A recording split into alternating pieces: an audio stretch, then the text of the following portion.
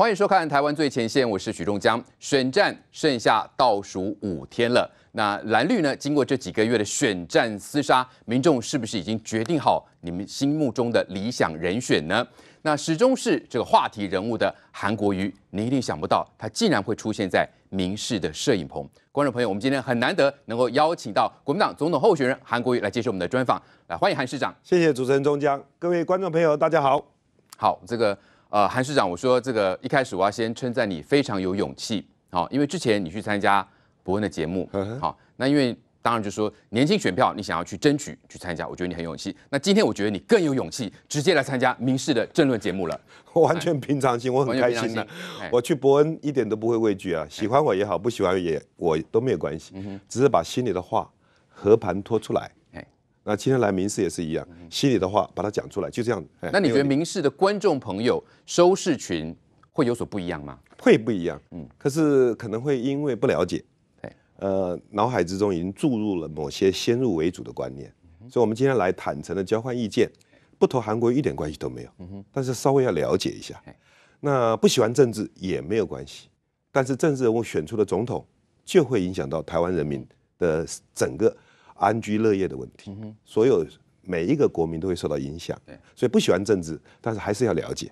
对，所以我们就直球对决了。哦，没问题。我们这节目一贯的这个风格就是，呃，有直有直接直接问哈，但是我们不会说这个无中生有。不会造谣，是啊，所以韩市长不会骂我们说没有良心、没有水准。不会，不会，不会，你放心，你放心。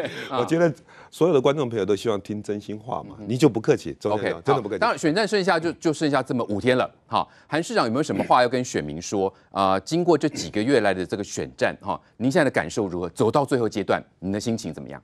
其实我的心是很静的，外面附加了很多东西，不管是善意的建议、恶意的批判。都一直不停的在附加，所以国者人之机，人者心之气，这个心要底定，心要定，心如果浮动的话，很多事情呢就跟着动起来。你要问我的内心深处，一点变都没有。我当高雄市长一年，高雄在变，路平啊，水沟通水沟通了啦，等等啊，呃，招商引资啊，高雄一直在改变，但是我个人完全没变。在最后阶段，你你可以给选民带来什么样的希望或愿景吗？我很多在国政顾问团都有发表过，我只是想建议一下，呼吁一下我们的我们的选民，一句话：民主就是人民做主，民主就是自作自受，民主就是人民投票之后决定谁来领导这个国家，但是几流的人民就会选出几流的民意代表，几流的民意代表就会监督出几流的政府，几流的政府就会有几流的执政成绩。几流的执政成绩，就会有几流的国家，这个是一点都骗不了人。这样会不会有点话中有话？感觉上好像几流的人民会让人觉得，哎，我们的民众、我们的选民没水准吗？不是，是优质的选民，不被谣言、不被买票，啊，不被各种中伤或者批判或者恶意的等等影响，或者被网军带风向。优质选民决定，就像瑞士做一个决定，大家觉得要不要政府发一些钱出来？瑞士人认为不必。我的意思是说，最终还是在人民手上这张神圣的选票。我没有说大家一定要投我，但是请大家看看我们的证件。那我是挑战者，蔡英文总统是连任者。挑战者要跟大家报告愿景，要跟大家报告做什么事。连任者要交成绩单。这个也挑战者也需要吧。哦，我现在，所以我刚刚特别问你说，是不是能给选民在最后的阶段带来一些温暖跟希望？因为这个后面会牵扯到一些问题。因为我发现你这两天的谈话越来越辛辣，为什么会这样子？不会，比如说，因为最近大家在关注嘛，这黑鹰直升机坠毁，对，哦，那因为造成这个我们的多名的将官啊罹难过世。但是为什么韩市长前两天、昨天会说台湾中邪嘞？呃，是被截断的一句话。前一天我讲了，我死则国生，我生则国死。军人一辈子就是两件事儿，一个打仗，一个准备打仗。所以我们从来看到中华民国建军史没有发生这么悲惨的事情。这是前天讲的，昨天讲到底台湾怎么了？为什么我们经济这么困难？为什么周边的国家都不再把台湾当做一回事？为什么泰国今年三月以后去旅游，台湾人要付财力证明？我们国家是到底怎么回事？是中邪了吗？他把这句话抽离出来。强攻猛打，嗯，如果把上文跟下文一看，就知道我们是忧虑台湾。可是你这句话中邪，其实我觉得对于一些呃，包括军工教朋友或者说现役的军人来讲，他们恐怕是无法承受之重。他们觉得他们每天是在这个帮国家执行任务，在保卫国家，那怎么会被你讲成是中邪嘞不？会啊、你看看我的上文下文，看我在台南讲话，军人一生就是把生命奉献给这个国家，军工教，而且军人、警察、消防，这个社会上有很多人靠不同在吃饭，有的人靠力气在吃饭，搬运的；有的人靠智慧在吃饭，会计师跟律师；有的人靠胆量在吃饭，马戏团表演的，深海潜水夫；有的人靠命在吃饭，军人、警察、消防，一声令下，可能命都没有了。所以，我们对他们更重要，他们的眷属要特别尊敬、特别照顾。嗯，这是完整的话哎，一点都没有，一点都没有你讲。那那最后是国运不昌隆，对，这这这这又怎么解释呢？这个就是说，整个台湾这么多年，就是一个字闷。嗯哼到底是怎么回事？我们到庙里面去祈祷，一定是国泰民安、风调雨顺。到底台湾发生什么事情？这么多台湾人民这么不快乐，担心未来，为什么？我们台湾到底怎么了？嗯这么善良，这么勤劳，这么认真，这么重视教育，今天为什么台湾人这么过得这么不快乐？到底我们台湾怎么了？这是一个完整的讲法。啊哈，但是其实也有一部分人觉得他们过得还可以啦，只是说因为国运不昌隆啦，或者说呃这些所谓的中邪哦，会让这些现役军人觉得，嗯，这样的说法其实是在他们身上二度的伤害。不会，不会完全不会。只要听上下文，我用一个木碗来比喻军工教被今天民进党执政哎是怎么样被对待的。木碗是一个寡妇把儿子养大了，然后嘞，儿子不让妈妈上餐桌，就给他一个木碗，然后孙子看到了，将来这个木碗要给爸爸用，这是一个故事。今天现役的军工教看到退休的军工教被政府这样对待，丢一个木碗，现役的军工教会害怕。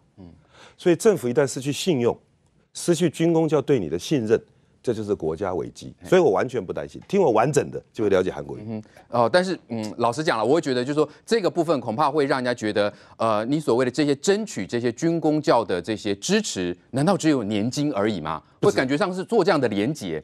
哦止，因为你觉得，因为很，因为蓝营很多人都觉得把它做这个部分啊，因为是年改，马上连接到这部分，那就会让一些现役的军官要觉得，难道我们这每天的做事都只是想着我以后退后退休后要领多少退休金吗？应该不尽然是这样子吧？钟家兄，你看我的论点太狭窄。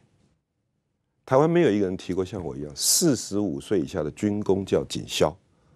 如果我当上总统，要展开台湾有史以来最大人才培育计划，四十五岁五岁以下在军工教警校都要接国际接轨，不能从军校、警校、公务员考上之后一辈子不离开台湾。你不了解这世界的变化，所以要每一年送百分之一到百分之二，这些四十五岁以下送出国做进修一年。那为什么四十五岁？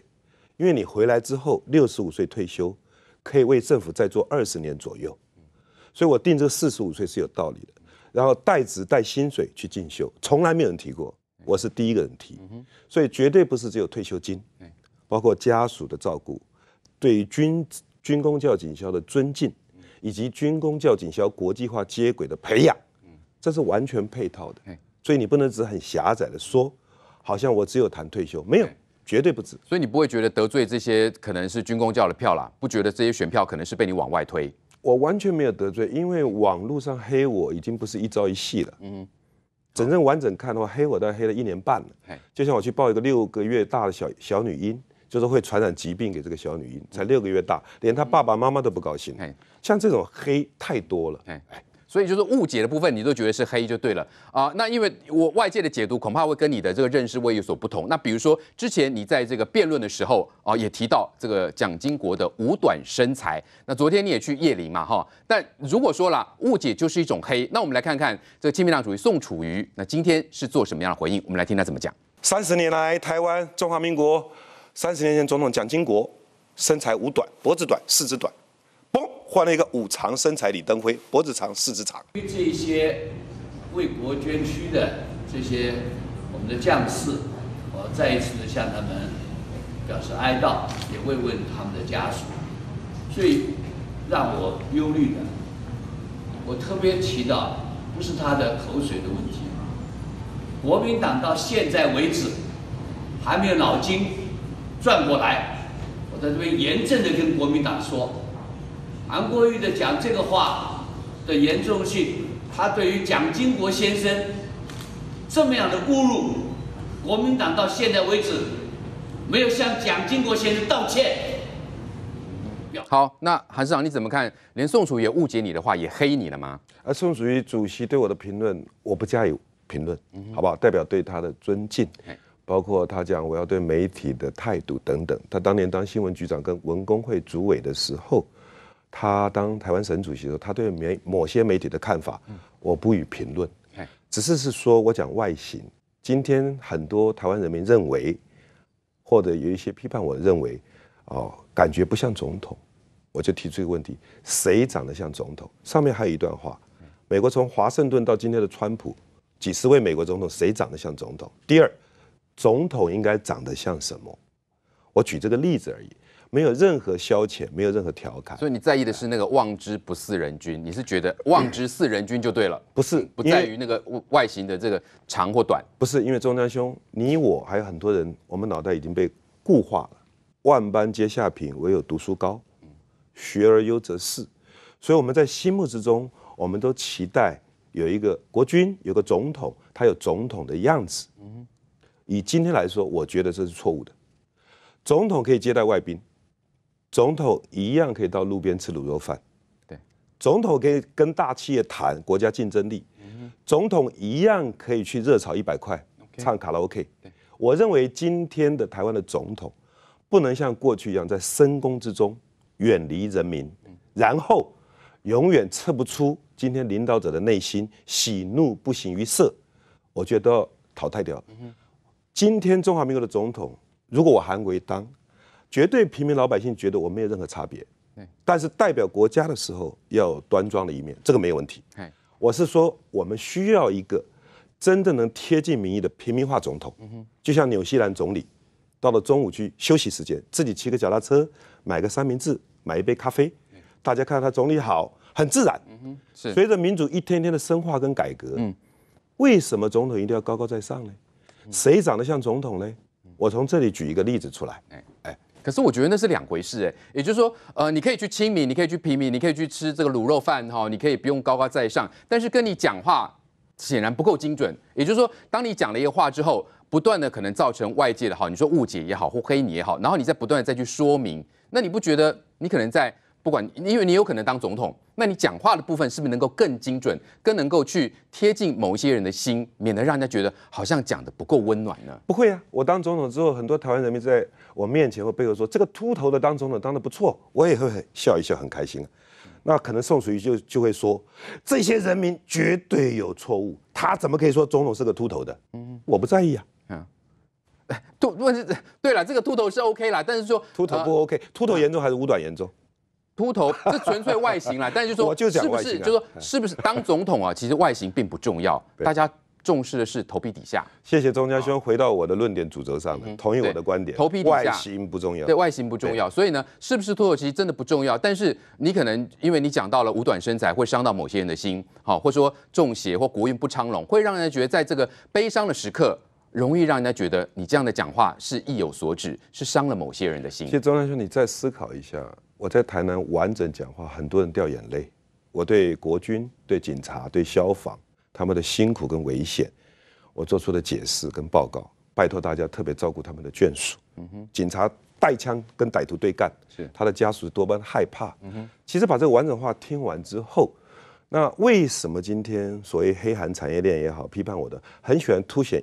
几句话来扩大的攻击，跟弄得我要解释或者不解释，因为量太大，我也就不解释了。哎，但是量太大，其实也是来自于你自己啊，不是吗？也就是今天如果你讲的这些哈，其实如果你是一个得体，或是经过呃之前也许沙盘推演过，或许不会有这么多的困扰。有这么多的黑函，那比如说，呃，你刚刚说的望之是不是人均啊？大家也都在讨论。那包括就说，是不是你的高雄政绩是不是可以拿来作为足够当总统？我们来看看宋楚瑜他是如何评论。在四场的三场的政见发表会上面，你没有看到国民党的总统候选人提出什么政见，就是在骂人，在吵架。韩市长有一个成绩单，修马路修一些洞洞。看看看看，做了一年了，唯一一个政绩是人家说铺了马路洞洞。好，我们看到这个亲民党主席宋楚瑜的呃评论了哈，那你刚刚也说对于他的话你就就不评论了，那也不管，OK，那就说这个路平啊，这个水沟清啊，灯亮是不是足够当一个总统呢？当然不止不够啊，绝对不止这些。一个总统，我讲的台湾安全、人民有钱这八个字里面，就蕴含着将来的分工，这里面有非常重要的意义在。台湾安全是总统的负责国防、两岸。啊，这个两岸政策还有外交，那人民有钱是行政院长非常重要的工作。那就像当年蒋经国总统用了孙运贤、李国鼎、赵耀东等等。那安全有钱，这经济这一块，未来行政院长要扮演很重要的角色。至于宋楚瑜主席对我的批判，我实在不想讲，因为今天的执政党是民进党，今天的总统连任者叫蔡英文。那我觉得我是一个在野党，所以他对在野党一直不停的批判，我只能说他的批判我不予评论，代表对他的尊敬，如此，好吧？哈，对，呃，提到是不是够格当总统了？那特别是两岸外交嘛，这部分也是无法回避的。您还记得六四天安门的事件的时候，那时候您是在那个时候我在新闻界，新闻界，对我剃了一个光头抗议，抗议，对，剃了一个光头，对，全部头发都剃光。那那时候抗议跟现在的态度上。有改变吗？我的一直改变都没有。我认为我也多次呼吁北京当局能够重视香港的民主发展，希望双普选，香港的行政最高长官能够港民直接投票，香港的最高立法局议员港民直接投票。在我们中华民国现在宪政体制之下，民主自由不是洪水猛兽，不是洪水猛兽，要能够更能够看待台湾人民追求自由民主的决心。所以我提出了两个非常重要，叫不要怀疑。第一个不要怀疑，不要怀疑共产党一定要收复台湾的决心；第二个不要怀疑，不要怀疑台湾人民追求自由民主的决心。嗯哼，这两个决心时常会有碰撞、摩擦或者价值的冲突等等。所以两千三百万的台澎金马金马的人民，我们要有信念，保护中华民国的主权，保护我们自由民主生活方式，而且绝对不动摇。绝对不退让。啊哈，但是对于中国的态度啦，因为之前大家也都呃有多所质疑啊，比如说呃面对是谁最危害这个台湾的国家哈，好像这个嗯韩市长的说法似乎都是在绕圈子。那特别是对面对中国的时候，应该用什么样的态度啊？我想这也是当总统一个不可回避的问题。中山兄，你又在揭露我某一些话了，我一点都没有回避。在伯恩爷爷秀，我讲过，七十年来我们国防建军只有一个假想敌。中国人民解放军，七十年来我们就防备解放军对台的攻击，所以对台湾威胁最大的就是中共。我讲的非常的清楚。我以为他要讲那两个字是讲讲哪两个字，我一下意会不过来，所以我就讲，在联合国所公认中华人民共和国，我们是中华民国，所以我讲九二共识，我们要保障整个台澎金马中华民国现任体制跟生活的方式。我一点都没有回避问题。没有回避，完全没有。但是当上总统跟现在的这个呃还在竞选的，其实是会有落差的。也就是说，当上总统之后，面对中国的这个态度，特别是说你的呃台湾安全啊，人民有钱，这个有钱的前提之下，很多人都认为你是想要靠中国赚钱。但是这个靠中国赚钱其实是有前提的。你有注意到这些当中，包括是一般的民众，不管是去经商啊，或是去念书等等，其实无可避免的。都会面对到中国的统战，也就是说，现在他们讲的更白了。你想要去赚大钱，你就要认同他们啊，你就要认同九二共识啦，你就要认同一中啦。但这种情况之下，如果当一个总统是只想要赚钱的话，是有可能丧失掉台湾的主权喽。呃，中江兄，你可能进入了一种思维里面，就像我们小时候天气很冷，同班同学在玩一个叫挤油渣，大家互相挤往墙壁上挤，民进党。跟你刚刚的问题，都希望我把它挤到一个什么情况？主权跟经济只能二选一，想要赚钱就要矮化我们的主权，不矮化我们的主权就没有办法赚到中国大陆的钱。所以你问的问题，事实上就在对我挤油渣，但是大错特错。为什么错？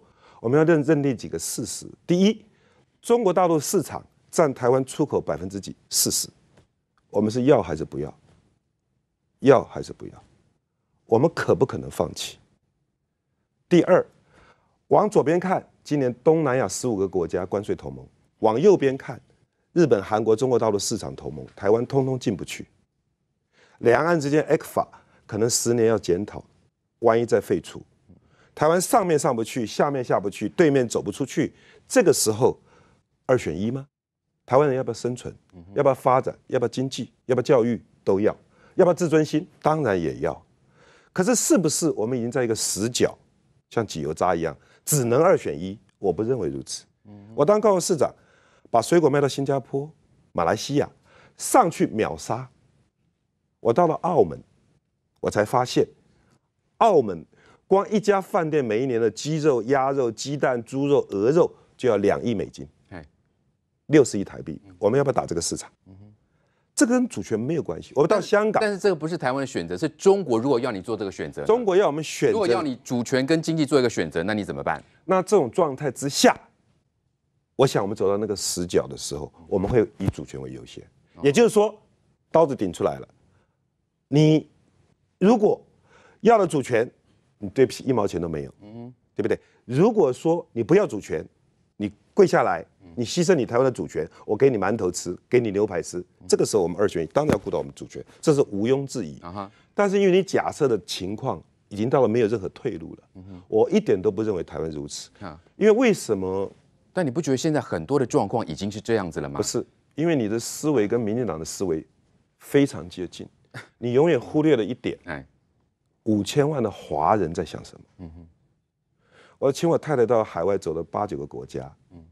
很多城市有唐人街，唐人街里面的人，老侨是不见得会讲国语，讲广东话，对，可他们认同中华民国，嗯哼，认同中华文化，嗯，你们一直在推这个题目，就是只能在主权跟吃饱肚子二选一，我一点都不认为如此，因为我们有中华民国，五千万的华人，大多数是，他们心里面是站在我们这里，嗯哼，而你们忽略这个最大的资源，嗯所以民进党现在是小刀锯大树，嗯哼。把中华民国一点一在锯，把中华文化也在锯。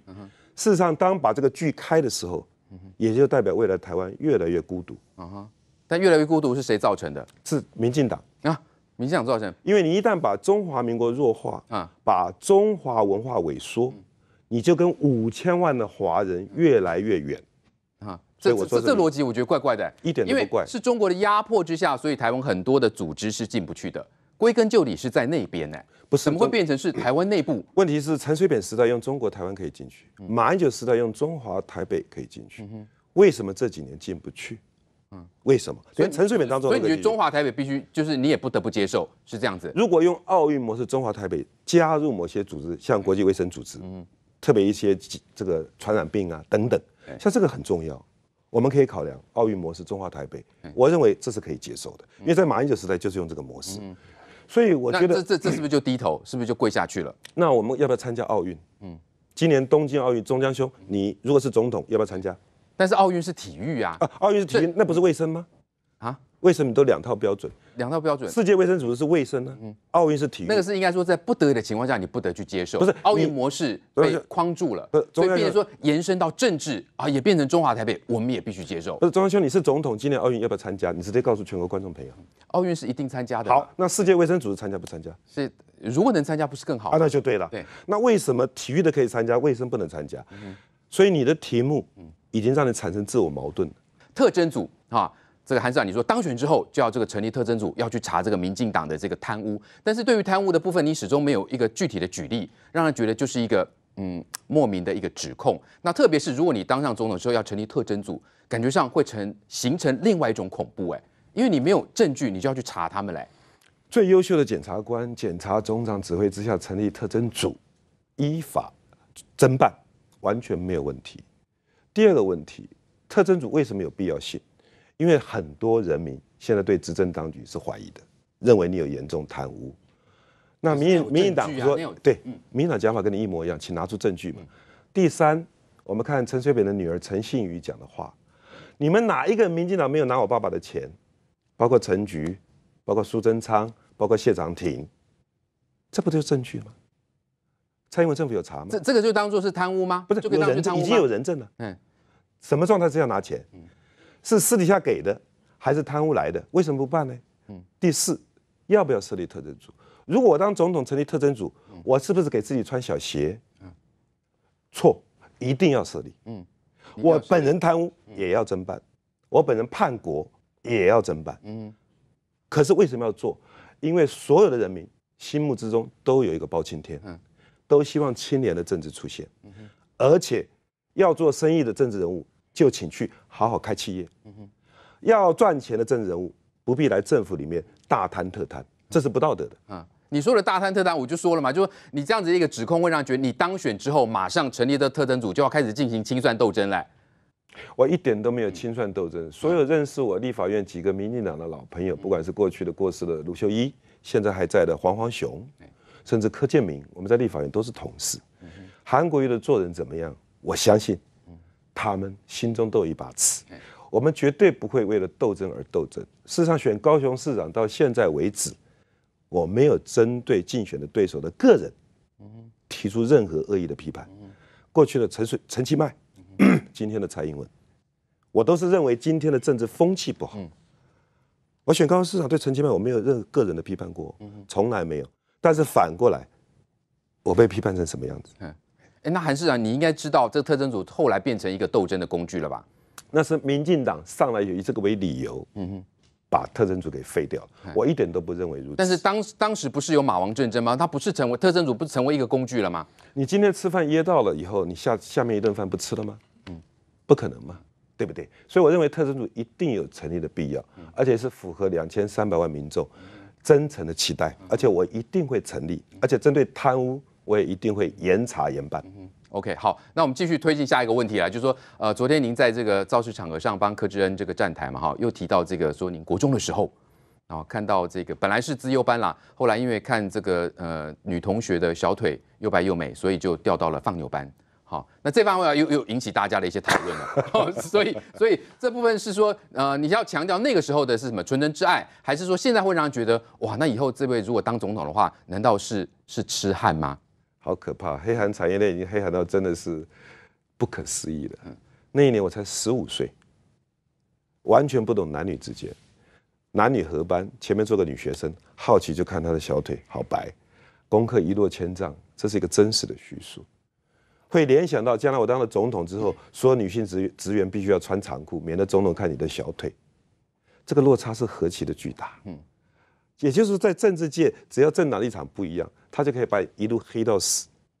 十五岁国中二年级的孩子，因为我是一个很真的个性，我就讲我当年国二最好班，到了国三毕业是放牛班，嗯哼把这段历史讲出来，就一路黑到底。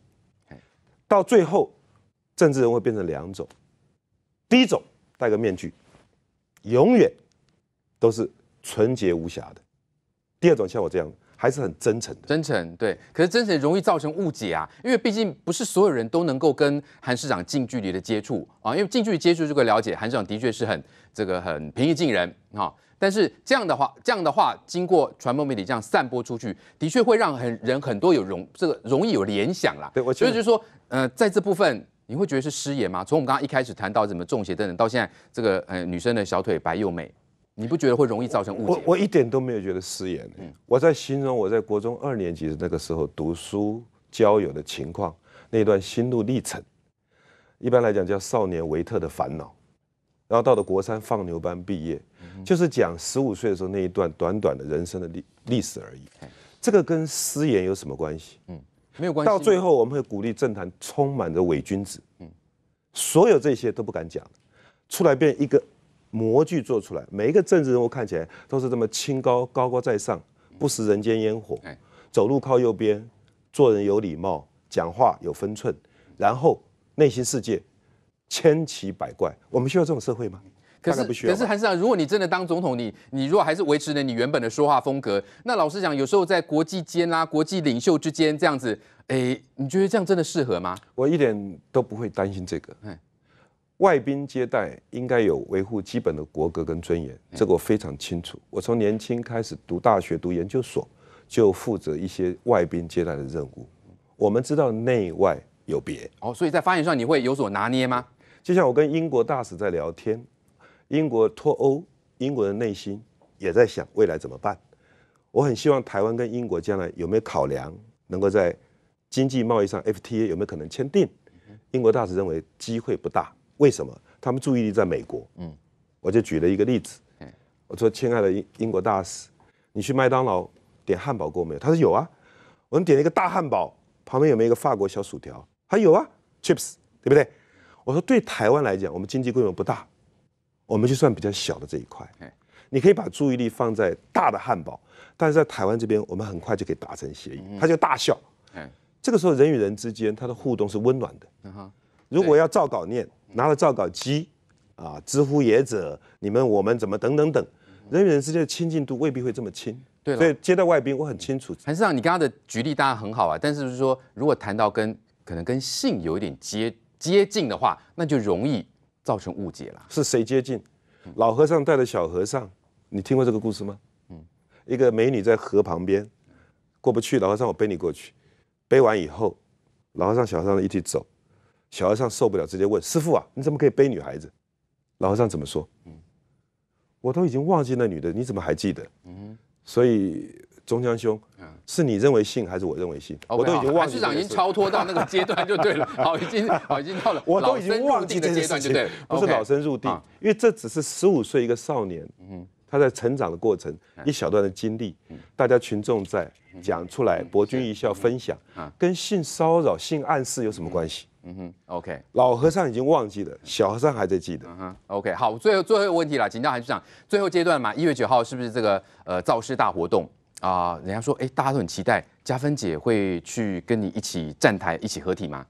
呃，应该是我们现在好多人都在问这个问题，我想到时候就会知道了，好不好？到时候就会知道哈，就是呃神秘嘉宾可能会意外出现。他说他目前没有规划，或者说你的女儿韩冰也会一起站台吗？那目前都还没有这个规划，目前好吧？到时候一月九号晚上就会知道了。那嘉芬姐如果出来，也不是什么神秘嘉嘉宾，没有问题啊，没有问题。OK，好，还有一个啦，就是怎么征求呃什么一百零八的奥波，这个是韩俊莹，这个到时候你还会样颁奖有小礼物吗？有小礼物，我们现在接到太多有关单位的警告。太多太多了，五花八门、千奇百怪，什么奥博、什么招式都有。其实台湾人民现在很清楚，你我全台湾人民都知道，民进党选举一定会出奥博。重点，重点在于到底出什么奥博，搞不清楚。嗯，可是蓝营自己没有吗？蓝营自己有时候也是批了一堆图，结果也都是对对，也是误会啊。只要大型的选举，嗯，民进党一定会出奥博。哎，这个几乎已经变台湾学英文的 A B C 了，每一个人都朗朗上口，但是每一次都跟咪牌一样。不知道这次奥博是什么，所以很多人干脆你就公开征求吧，用众人的智慧，所以我们才出公公开征赏一百零八招的选举奥博，我们等着看。民党百分百奥博。嗯，好，我们还是期待了这次的选举呢，大家能够公平竞争啦，不要说出什么奥博哈，公平竞争之下来选出啊，我们这二零二零的新任总统。当然，今天也非常感谢韩市长来接受我们的专访。谢谢钟家修，谢谢各位好朋友，台湾安全，人民有钱。好，节目的上一段，我们专访国民党总统候选人韩国瑜。对于呢，他说的中邪，他显然不认为是失言，但是外界显然是一片的挞伐。今天我们节目呢，要继续的讨论。先介绍来宾，在我右手边的位是民进党台北市议员王世坚。中乡好，大家晚安。哎资深媒体人陈敏凤，大家好。资深媒体人吴国栋，中乡好，大家好。好，再来是韩办总发言人王浅秋，中家好，大家朋友大家好。还有是台大医院前副院长王明炬，主持人好，各位观众大家好。再是国民党文传副主委郑世伟，大家好。啊，再是资深媒体人邱明玉，大家好。好，我们先来看哦，就是韩国瑜在这个桃园浮选的时候呢，说黑鹰失事哦，说台湾国运不昌隆是中邪了吗？此话一出，引发各界的挞伐。来看 B C R，，中华民国建军史也没有发生过最高的军官参谋总长、最大的士官总士官督导长一口气离难，我们的国运也不昌隆，到底是怎么回事？台湾到底是得罪谁了？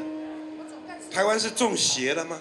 你没听错，韩国瑜把黑鹰直升机失事以外，和国运不昌隆，台湾是不是中邪了？牵扯在一起，言行在网络上发酵，网友呛又在消费死者，忍两天真是为难他。韩国瑜正常发挥，比随微杂报更没水准。他是担心，担心台湾有这个不好的这些气氛情绪在，他并不是特意要去做任何的攻击。好，我们看到这个中邪说了，引发外界的这个高度的讨论。不过呢，因为上一段韩国瑜他的回应，他认为呢这不是哦所谓的失言。但是为什么外界的看法跟想法会跟他落差这么大呢？特别是我们看到，其实国防部也做出回应了。其实国防部的回应相这个是相当罕见的哈。过去他们很少针对选举的话题啊来做这个回应。那他们就说呢，针对黑鹰事件被影射为台湾中邪了哈，国运不昌隆这样的形容实属不当，是对殉职将士不敬，是对家属再次造成的伤害。同时，我们看到蔡总统他怎么回应？他说。韩市长用这样的话来消费将士牺牲，哦，相信全体国人是无法接受而同感愤慨。那韩市长应该向家属、国军以及国人道歉了。先请教明玉怎么看？不过显然，因为我刚刚访问的韩市长嘛，他显然不觉得失言哈，当然也就不会道歉。但是为什么他的看法想法跟外界落差这么大嘞？呃，因为可能在选举的关键啦，哈，所以就说任何的这个选举的这个语言呢，都会按呃都会影响到选举的结果。所以他如果现在讲的这些话，那外界认为他失言，他可能现在要要盯盯住，就说我没有失言。但是我认为啦，就说失言就是失言，失言就道歉。反正这个呃市长他这个失言也不算是第一次了。可是我必须讲，因为这一次大家为什么会特别的关注，而且负面观感蛮深的。就是因为呢，这个是国难当头，这次一次损失了这么多的将领。你看我们在台北宾馆还特地设了一个大家可以追悼追思，就知道说我们的这个民众是对这八位将领是多么的觉得很哀痛，然后去哀悼他们。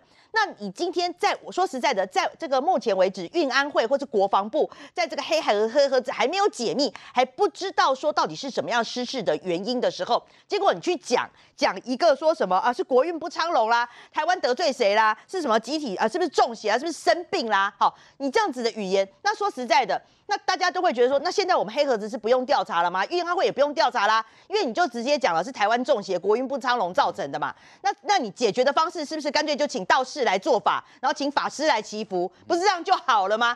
所以说实在的，你用把这种归咎于什么中邪、国运不昌隆。这种事情你可能是一般的哈，什么贩夫走卒这种的，那大家当然会就是会就说，哎，为什么你们老是严格要要求这个韩国瑜，然后严用放大镜去检视他？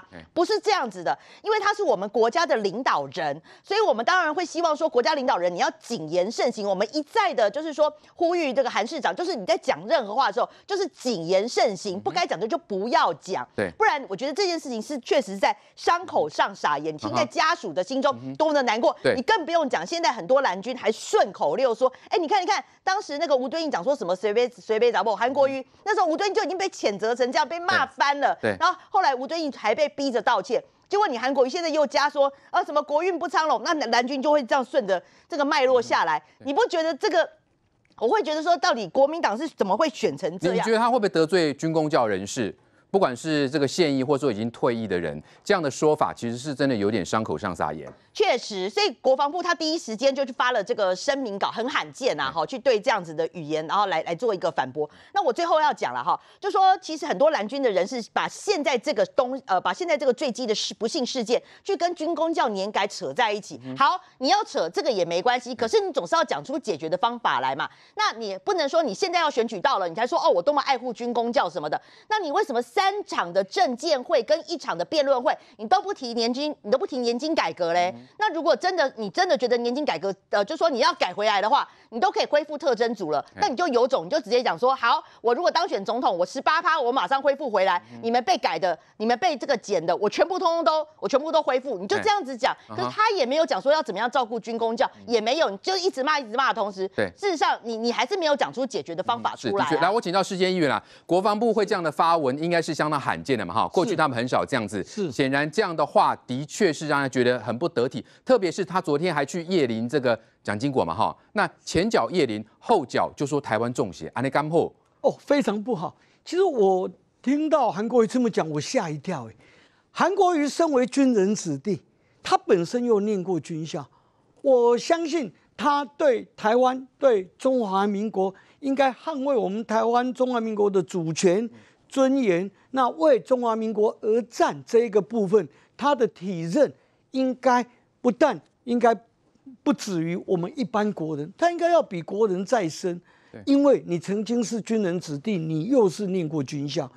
那大家冷静想哦，我们社会上现在为什么普遍对吴思怀感到愤怒跟不耻？因为吴思怀，你身为我们国家所栽培出来的这军官，又是这么优质又这么这个高阶的军官，结果在你退役之后，你不但去投效中共，你还教导共军要如何来打击哦，呃，来攻击我方的军队。对，所以你这个是吃里扒外嘛，所以令人不齿。同样啊。在我们国家重大的伤痛损失的时候，当全体国人都为这个事情还在哀伤难过的时候，其实不应该分蓝绿。那韩国瑜这么做，我知道他无意之间，其实他等于是在挑起先前因为军公教年改，那导致有部分人士，那因为有被改革到、被削减到，总是不满，等于在挑起。他们先前对军工教年改不满的这个破口，嗯，但是韩国瑜应该知道啊，你这是刀的两面呢。对，当你过度的去挑起这一面，你好像得到了这一部分人，因为他们不满的宣泄。可是第一点，你破坏了我们国家的团结，在国家重大伤痛伤口上面撒盐。第二点，相对这刀的另外一面，因为你这会让其他各阶层。各世代，尤其是年轻族群们，哎，他们看破啊，哦，原来你这么不持平的心态，那你怎么样来未来要来带领这个国家？对，那会令大家害怕。嗯，所以当这个害怕形成共识的，害怕怎么样？害怕你这么偏颇的想法。的领导者，如果你来当国家领导人，那国家会变成什么样？所以这个害怕会导致中间选民他们弃韩而去。是分世界议员分享，就说呃，韩国这样的谈话其实是一个两面刃啊，的确是呃比喻的非常好。只是说刚刚在这个专访当中，我也期待这个韩市长可以说出一些比较温暖的话，但感觉好像他没有办法来请求议员，呃，请求他这没有办法讲一些比较温暖的话吗？为什么会讲出这样的话，让人家觉得伤口上撒盐？他专访还花了很多时间跟仲江来解释为什么他这样说，但显然他好像没办法说服你，是不是？然后一一他才刚走，你就立刻就直接断言说他跟民众的距离太远。我觉得是这样子吗？而是说要有一些温暖的谈话，特别在发生这样的事情。这两天一直都有非常多温暖的谈话，那只是可能大家放大的，当然是刻意的，只放大了他这一句嘛。那他是个问号。他是不是有些疑问？他觉得，哎，怎么会这样？他只是觉得很很焦焦虑。为什么台湾会发生这样的事情？他这两天我们不断的为这个死者祈福，这是八颗星星在天上，对国家的损失有多么的惨重？我们都希望赶快查出真相。那么当然也是为这死者感到了非常的哀痛，也希望生者能得到安慰。那么这非常非常重要的过程，其实就是这句话，它也是一个疑问。那你说国防部非常罕见的发这样的声明，我也觉得蛮罕见的，在配合演出吧。基本上，如果他只是一个提问，难道都不行吗？那么基本上并不是质疑说这个案件发生的原因是什么，或者阴谋或者什么，不是哎，他只是说是不是怎么会这种时候我们国家发生这样的事情呢？心里总是有一些担心嘛、疑虑嘛，那提出这样的。疑问问号？疑问。那么像民进党内发生那么多事情，那当总统的人他为什么不谈？为什么王定宇委员他要去在事情还发生没有统合资讯的时候，他就自己先抢跑马灯报现在死伤人数多少，把自己当一个自媒体一样在报这些媒体？那么这样尊重死者吗？尊重所有救难的人员吗？或者是他的民党的发言人林静怡小姐，她是不是在这个时候去发表一些莫名其妙的什么两岸，甚至残害言论自由，甚至对于说，哎，是不是如果主张统一的人就要把他抓起来？那么就。是叛国罪等等，那这些是不是才是也是样总统高度？那么是不是也应该要来讨论，而不是单方面讨论一句话、两句话、一两句话的讨论一个小时？跟如果真的影响到台湾整体的这个安全或整体的议题的时候，它不是更重要？所以你觉得外界是钻牛角尖了，特别把它我相信，如果你刚刚说跟民众感受很远，其实我相信大部分的民众不见得都跟各位的感受是一样的。它就是一个一般民间都会有的感受，说那样呢？哈，我们都很不希望发生这种事情，怎么？会发生这种事情，就是这样的疑问而已，就这样疑问不用过度解释，过度解释都只是为了刻意放大的放大镜而已。来来来，国栋哥怎么看？是是这样子吗？就是说他是基于一个担心，但是要当一个总统领导的人，国运不昌隆，难道是要找一个人来来祈福吗？为台湾祈福是这样子吗？浅秋难得来我们的节目了，所以尽量我想尽量听他怎么讲这些事情。但是刚刚他扯得太远一点了，一个领袖人物讲话的内容。要掷地有声，一个领袖人物在讲话的时候要看他的场合地点，韩国瑜挑的是在慈湖还是头寮讲这一段话，当然有他的选举的政治用意啊，不然他不会挑在那个地方讲这一段话嘛。我们来看他讲这些话，是不是符合全国人民对一个总统候选人的期待？他应该这样讲讲这些话的。讲话我们不要谈说有没有水准，就讲话这个内容是不是让人民听见有所感？说韩国瑜市长确实是够格当一个总统。今天我人民要检验的很多事情，今天是很可惜，韩国瑜市长是因为时间匆忙，只有半个小时，没有办法，也不答应我们同台。我们很多事情想你请教他，不是谈他的大海，也不会谈他的漱口杯，我们只想了解，在选民期待中，一个总统的格调跟条件是什么？你认为应该是什么？如果说只是政治吐口水，大家打一场选战，搞成这个乱七八糟。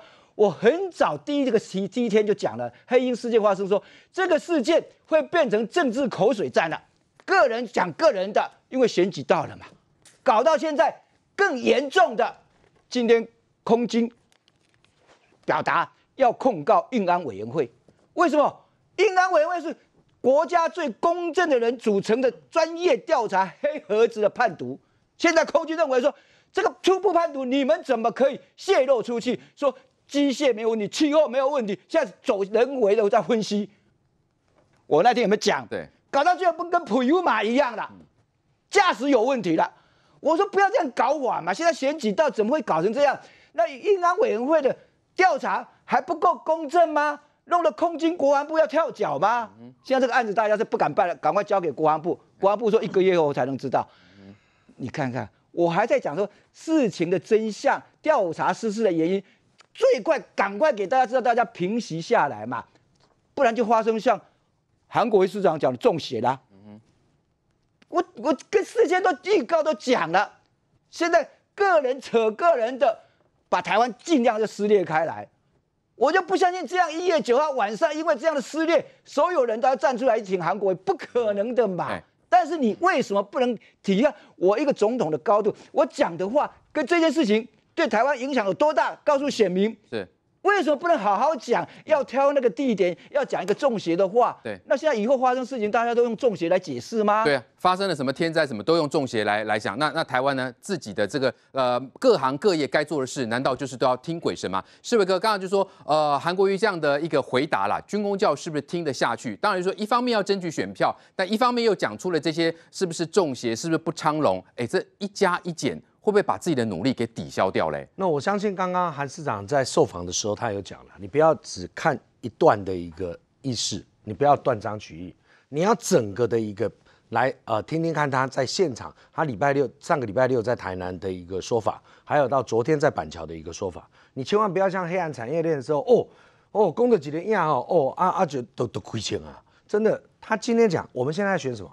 我们现在选总统，我们要选一个元首。作为一个最高的一个领导人，你是不是应该发生了一个事情？你除了悲痛伤痛之外，你事后的一个检讨，甚至于你事后的一个思考，你是不是要做一个忧国忧民的一个思考？看到这句话了没有？他是打的问号，他不是肯定句。嗯，蓝点来了他今天受访的时候，中央他也跟你讲啊，咱压三张清因为，咱去庙寺来对咱祈求的什么？风调雨顺，国泰民安了。但是今麦咱台湾发生了这样代志，哎，咱大家在思考。今把新闻变成国不泰、民不安、风不调、雨不顺，你是不是台湾到底怎么了？是中邪了吗？打了一个问号。你比如讲，有当时啊，咱就一个少年的时阵啊，哦，身体力壮，然后耍的时，咱看伊哎，精神恍惚，哎，伊是不是丢耍？还是丢耍？对不对？我们会去，我们会去用问号去讲说啊，到到底怎么了？那我相信。一个思考的一个语言，甚至于他要选一个最高领导人，他做一个忧国忧民的一个思考跟检讨，难道是错了吗？我我觉得刚刚这这一个国龙大哥讲的很好，哎，你今天发生的这个事情，你这个非案调查委员会，甚至于国防部，你黑盒子判读的时候，好，你有出来，要不然到底是什么？你告诉我们国人，我们要一个真相。刚刚国龙大哥你讲说是一个月哈，我听到了，好像说在一年以后，之前讲说黑盒子要送到美国，他说不用。我们自己就能够解读。现在听说黑盒子，我们自己不能够解读，然后要送到美国去，然后好像一来一回要一年了。嗯哼，哎，我我会觉得讲说，这个我们最高的幕僚长，我们的参谋总长，跟还有最高的这一个总士官长，这一些王者，甚至于现在的伤者，还有我们的国人，大家都希望讲说，要这一个飞安的一个事故，它的一个真相。哎，如果要经过一个月，甚至要经过一年，那我我会我会觉得，那是不是哪里出了问题？我我也觉得说，不要断章取义。韩市长已经解释了很清楚，那他为什么不能讲一个忧比较国民的一平公？正的话，说我们静待这个调查出来，事实原因。这是大家的残酷，大家的残酷。而且你刚刚讲军工教的事情，嗯，他也没有讲到说军工教的一个事情是为了年金，他也讲他举例一个木碗的一个事情。哎，你毋通做人毋通无饮水思源，叫过去怪啊怎去放掉？有利用价值的时阵，你甲按嘛赔。等下若无价无利用价值的时阵，你叫伊去灶骹煞来摕一个木碗，互伊淡仔食。诶，伊的视势看到的时讲哦。啊啊！那这个木啊，我盖我不要我老被家。我老实讲了，就是说对对，其实不管各方的发言呐，这个韩国瑜或是运安会哦，在发言的时候都应该要再更精准一点哈，避免造成一些外界的困扰。当然，现在网络上非常的多，那特别是叶玉兰最近也 PO 了一张合成图，我要去批蔡英文啊，结果被人家发现竟然是这个 P 图，所以他这个秒删图道歉。来看 B C R。二零一三年红中秋案大游行，时任党主席的蔡总统跟白山军席地而坐，投绑布条控诉军方纵容冤案，背后还有不雅字眼痛骂国防部。国民党不分区提名人叶玉兰在脸书抛出这张照片，不为回忆，只为攻击。看到三军统帅为黑鹰罹难将士举办追思会，更抱了总长夫人，场面虽然感动，但他无法不想起当年蔡主席是怎么羞辱国军，上任元首后又是如何追杀军工教警校。下方 hashtag 再酸，生前一粒土豆香胜过死后拜猪头，更挂保证照片绝无假造。但布条下方这条清晰的分割线，直接拆穿合成谎言。你身为一个即将要进入国会担任国会议员的人，你居然不查证就登出这样的照片，恶意抹黑对手，伤害我们的国军士兵，这样是对的吗？国民党，你们还有脸开记者会啊？你们要不要先找叶玉兰出来跟大家道歉呐、针对国民党放纵叶玉兰的事情，我们要求国民党应该要道歉。尽管叶玉兰事后删文，声明自己是在社群软体群组里看到照片，一时太过愤慨，才没查证就上传，愿意为此向大家道歉。但恶意行为伤害已经造成。好，我们看到这个是呃所谓的没有搞清楚就随便发文嘛？好，我们看到这个叶玉兰呢就这样子把这个 P 图，明显是呃两张图把它合成在一起。这样子就把它发出去，所以在这个我们说发生黑鹰直升机坠机的伤痛时机，这些国民党的不分区立委却是忙着在制造仇恨，忙着在制造对立吗？来，明凤姐怎么看？我觉得叶远其实他已经是准立法委员了啦，他排名第二名，其实是实职的第一名。他如果国民党是除非一席都没有当选，或根本就叶远是铁上稳当选的。对啊，那所以刚才刚才国民党人在批评说啊，这个王定宇啊在脸书上面发布什么东西，那这个叶玉兰是是怎样呢？叶玉兰更糟糕。叶玉兰他也没有什么这个图啊，我传赖传过来，我就可以随便贴上去。他有没有考虑到他自己的身份？他自己自己已经快要是立委之外，他也是警察出身的。那警察作为一个治安跟这个整个社会安全的维维护者，他应该站在哪一个立场上面？大家应该都很清楚嘛。第一个，他他有没有能力？要不要求证这件事情一下呢？如果没有能力求证，你还你你就这样子抛上去，然后还到处骂人，你这样子适合吗？所以我，我觉得说，而且叶玉兰的激愤发言已经不止一次了。我不晓得国民党今年应该是韩韩国瑜讲的中邪，不晓得是台湾还是国民党中邪。嗯，都就提一些这个不分区的立法委员，都是在惹是非的嘛。那你说这个什么这件事情，洪仲秋，洪仲秋明明就是被证明是国军整个事情上面是冤是被冤死的。那这个事情，这个当时的在野党帮。这个国要求国防部公开真相，又有什么不对呢？对不对？那你你你你这个他有去静坐，但是没有在那个布条下面。可是你偏偏要把它披在一起，披在一起，然后呢，你们警察传，其实我觉得警察是很蛮会 P 图的。我常常收到那个警察的同学传来的 P 图，都是一等一的。但是问题是你今天已经不能说啊，我我我我我完全靠我感觉，蔡英文又就是有可能做这种事情，所以呢，我就把它发布出去，然后发布出去之后呢，我再收回，然后再公开道歉。我请问一下，你未来如果当上立法委员，你的言论等于是国家的国家这个这个官员的言论，这官方的言论，那你也可以这样子丢出去以后马上收回来吗？对何况我们对一个警察大学的学校的校的这个这个老师，他的期待就是应该高于其他的人嘛。对你警察应该作为其他人榜榜样啊，别人在发假讯息的时候，你应该负起责任去抓，不管你是不是现职的这个警军警人员，你都不要去散布嘛。所以我不晓得国民党提这种不分区的立法委员。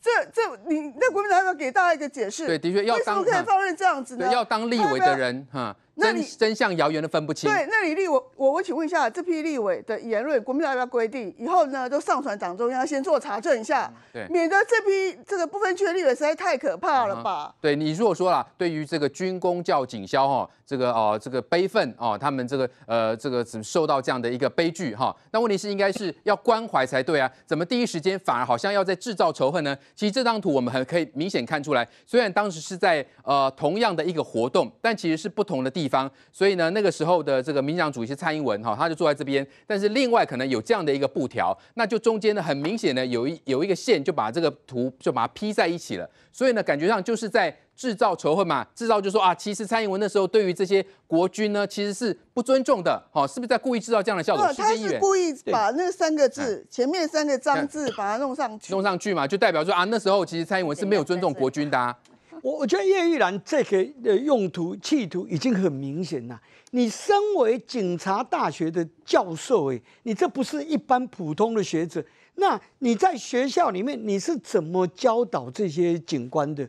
警官不管是刑事科或者行政科，不管哪一科目，他们最要紧、最主要的学的第一点就是要求出真相、真实事实是什么。对，就像说我们刚在批评韩国瑜的，如果你身为政治领袖，你可以断言说啊，不管你用的是不是问句，你说啊，我们国家怎么样啊？国运不昌隆是不是中邪了？哎，如果国家中邪，那不用选总统啦，那找塞公就好嘛，是不是？所以塞公来这盖起来的后啊，那国家需要的就不是领导人了嘛，不是这样吗？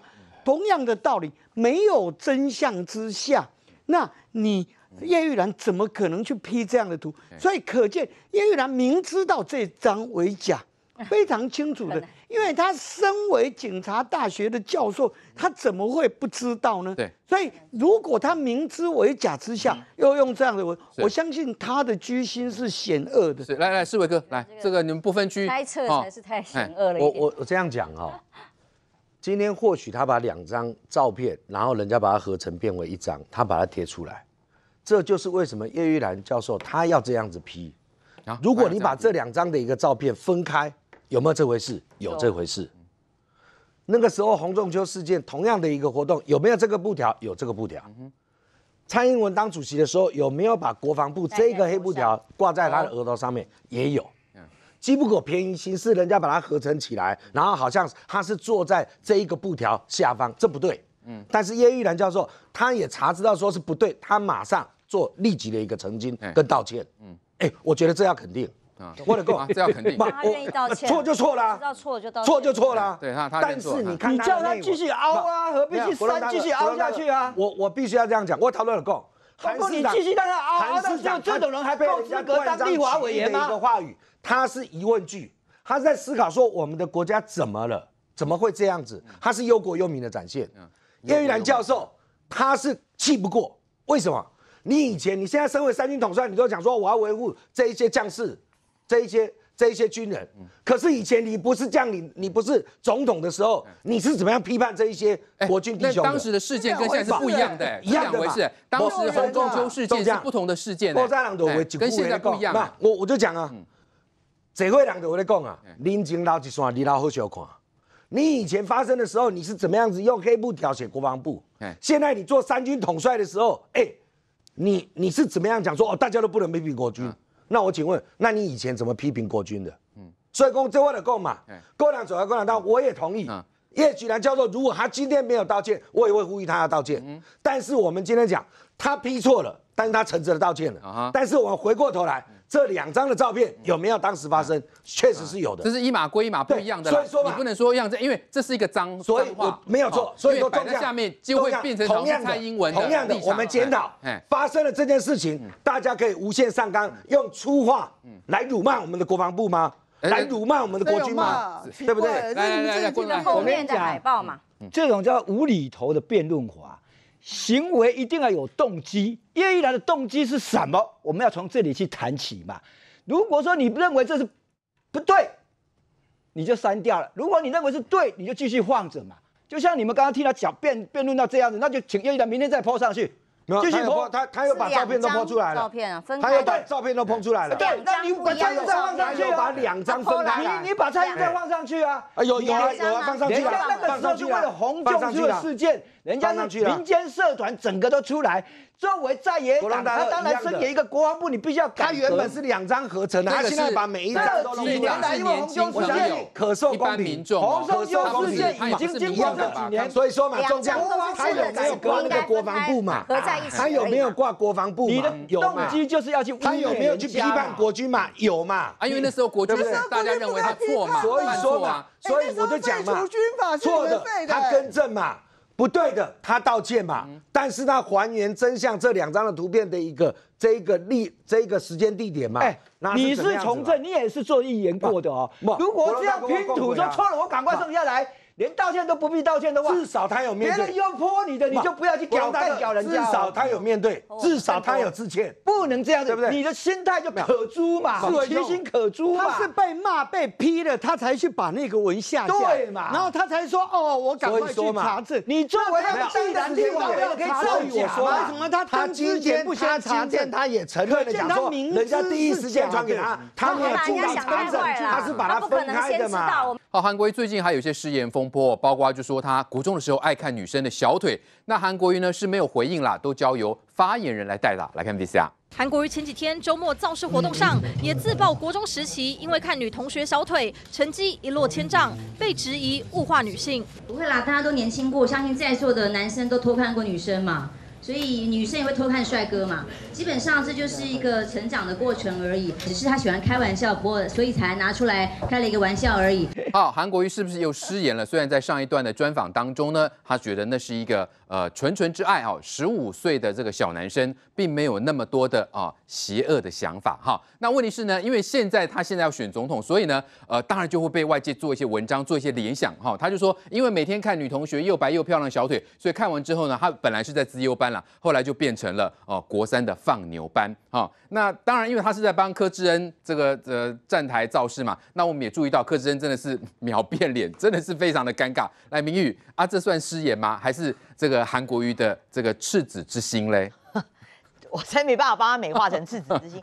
说实在，将心比心啦，如果今天是他的女儿韩冰，然后每天被人家这个盯着小腿看，你觉得他会舒服吗？我相信应该是不会，因为我们也是有女儿的人嘛，你就会觉得那个真的是觉得，天但就会觉得心里会不舒服啦。哈，那回过头来，我必须讲，其实蛮尴尬的，应该是有两个人，一个是柯智恩，其实柯智恩每次碰到韩国瑜，不知道为什么就这么巧就会出事。上一次呢，韩国瑜帮柯智恩站台，也是讲到说什么男生下面很强，然后女生上面很很强，也是说的哦。呃，就是讲那个什么呃男男生当兵，然后什么什么就下面讲，然后女生化妆什么上面讲，反正类似也是这类似像这样。柯志恩也是搞到很尴尬。那这一次刚好又是轮到柯志恩，就讲到说看女生的又白又漂亮的小腿，看完成绩一落千丈。那第二个我觉得尴尬的是哪里？尴尬的是他毕业的这个海山国中母校。我必须讲，因为他昨天他是帮这个柯志恩站台，刚好就是那那个海山国中那那附近嘛。他为了要签地缘关系，所以他在讲那个海山国中。说实在，韩国瑜你在海山国中念了三年。三年呐、哈，那你的印象就只有看到女女同学又白又漂亮的小腿吗？要是我，要是我是海山国中学校的老师或校长，我会觉得说，哈，你对海山国中的印象就只有这个样子，他可以讲一点别的，因为你要砍他海山国中嘛。你说啊他，讲别的，你只听这一段，只讲这一段哦。他没有，他就真的我那个他因为这一段特别特别好那引人注意我想这。样，我在现场主持，我最清楚哈。我我相信，在板一体育场的一个外面那个空地，然后对面就是海山海山国中是啊然后他现在是完全高中哈。那我相信他今天讲的是，哎、我我等来我国中时代哎这个母校，然后他侃侃而谈，把他的一个青春少年时期他所发生的这个回忆来跟大家现场啊，做分享。回忆只有这个吗？他可以讲点别的啊还。有很多啊，还有很多啊。所以说我就讲，你不要只有看到他这一个一段话，然后你就从他这一段话，然后去给他黑，然后去给他放大。我恭喜你，哎、大家都有笑脸鬼嘛。青春时期，你叛逆时期，你有时候两小无猜，甚至于少年十五二十时，弄公子官，哎，年少那个时候的一个光景的一个事项。啊！你故意在选举的时候，你就要把它变成口水战，不是不能把它渲染。我相信柯志恩委员，大家现在我常常在讲，你可以做笔记、做资料，还有一种 Google，你可以上柯志恩委员他的一个脸书，能够去看一下柯志恩委员他对于昨天发生的事情他怎么讲。现场只不过为的是博君一笑，让大家去分享一下韩国瑜市长在十五岁，可是老实讲他在国中的时候，他的那个少年因为韩国瑜真的不是一般人，他现在要选总统，所以你看他一一而再再而三讲这类似的话，自然会就是认会我觉得我觉得这样不需要这样放大，不需要这样放大。我觉得台湾的选举不需要哎，锱铢必较啊，讲一讲我点来在讲。啊，讲看着一个样，啊，你就一直亏钱，没有意义嘛。每个人都有年轻对过嘛。来来来，明凤姐来，这真的是外界过多的联想吗？太凶悍嘛，太夸张了等一。下，等一下，不是我我我是我我当然可以体会体会韩市长的心情啊，他可能要热场，然后跟下面要搞熟一点啊，然后再弄牵一点这个边缘。那以前马总统用的是冷笑话，就是哎讲一句很冷的话，然后大家不知道要笑还是不笑，然后就有点奇怪的感觉这样。那可是问题是，我觉得这句话你为什么每次讲的话都会被人家拿出来做文章？你自己要检讨吧。那你我我觉得你很奇怪，为什么都只你用人家讲这种话嘞对，为什么你为什么要讲讲这种话呢？对不对？那我我我觉得说，其实这种话当然你就像前就讲了，每个男生可能也都会偷看一下，我们会偷看那个帅哥一下。但是你长在台上，然后你的候选人刚好又是位女士。那我说实在，那柯志恩那个脸部表情实在是也蛮多的，他已经两次都是翻白眼了。那如果我觉得说，如果这个真是无伤大雅，一笑就过去的话，你就可以柯志恩当场反应最准，他就会微笑就好了。可是他不是，他又装了一个呃，他不止微笑，他在现场他秋爱李在在呢。对对，然后还对啊，我 我觉得是吧他当过老师的人，飘，对对你看那个只是我那个截取方面，我我觉得这就是他性平观念有问题。我我觉得你可以去看影片这样叫。性平会不会太无限上纲了？对哥，我有偷看偷看你，不要抢我话。然后你就说，我就看到柯志恩，你可以看到他脸上就是这表情，就知道他的脸上表情是一种苦笑，这个是一个苦笑，很尴尬嘛。所以你不要问外界为什么要问炒作这一句话，你问说你为什么要讲这句话？你很多的事情可以讲，对为什么？对啊，你浅秋也说，哎，很多事情都可以讲啊。对那你为什么要讲这一句话呢？对不对？那讲到候选人都觉得很尴尬啊、很苦笑的表情的时候，你怪我们在炒作这句话啊有公平吗？对不对？的确啊，就是苦笑嘛。你明知道讲跟这方面的话一定会被大做文章嘛，但是就为什么就一而再再而三不能够避免呢？来，浅秋这也为难你们啦，你们每次都要在后面一直擦屁股啊各位观。众朋友哈，我要真心的请教电视机前面的你，你没有偷看过一下女生吗？而且他是看小腿耶，他只是说他总是有这个年轻的时候如沐之情，难免会想偷偷看一下女生，然后有时候不专心，哎呀，小朋友上课不专心，自己放就变成精精英班，变成放牛班，这种就叫做黑黑到无极限。